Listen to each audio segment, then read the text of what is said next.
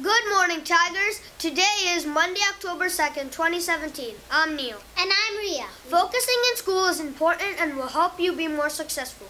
Here are some tips on how to focus better. Mm, Get a good night's sleep. Eat a good breakfast with veggies and protein. Exercise regularly. Take advantage of breaks by relaxing. Try not to get distracted. Let's go to Matthew with the weather. This week's weather will be in the 70s and the 80s with plenty of sunshine. Let's see what they have in learning and action.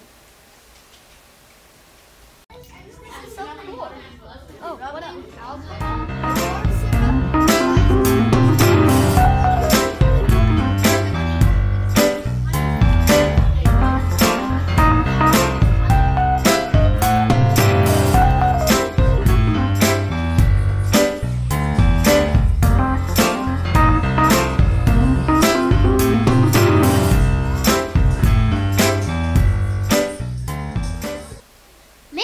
Keep up with the new traffic plan.